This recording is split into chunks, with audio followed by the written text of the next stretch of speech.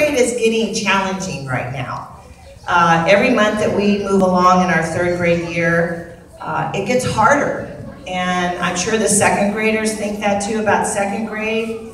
Uh, third grade, we're building to taking a year-end test. So there's challenges every day.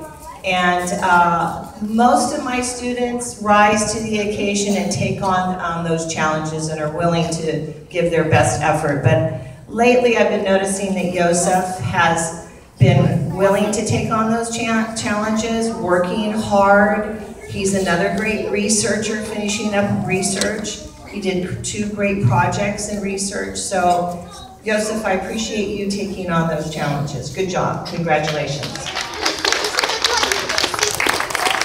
Can we pose some, pictures for the parents?